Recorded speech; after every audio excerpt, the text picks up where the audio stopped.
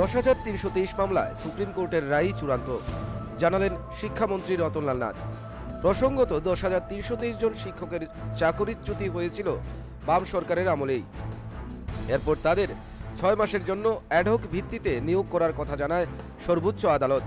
পরবর্তী সময় নতুন বিজেপি সরকার সুপ্রিম কোর্টে আপিল করে অ্যাডহক শিক্ষকের মেয়াদ বাড়ানোর জন্য সেই অনুযায়ী মেয়াদ বাড়ানো হয় দুই বছর।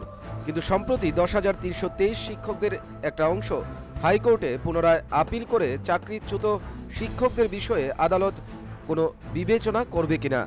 কিন্তু শুক্রবার উচ্চ আদালত সাফ জানিয়ে দেয়, এ বিষয়ে সুপ্রিম কোর্টের রায় চূড়ান্ত।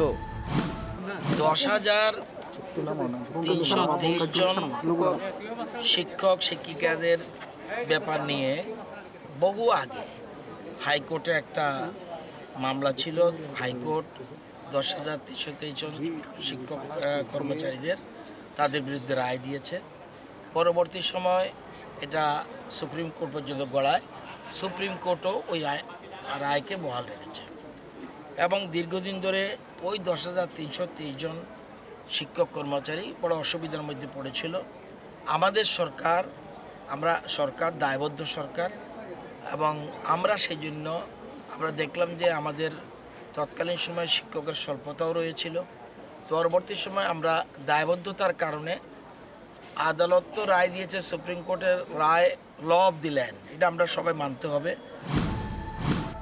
এদিকে শুক্রবার শিক্ষামন্ত্রীর এই বক্তব্যে স্বাভাবিকভাবেই হতাশ দশ হাজার তিনশো তেইশ অ্যাডহক শিক্ষকরা।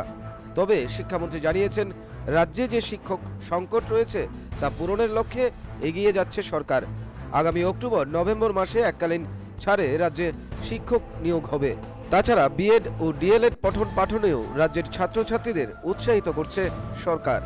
Bureau report, news vanguard.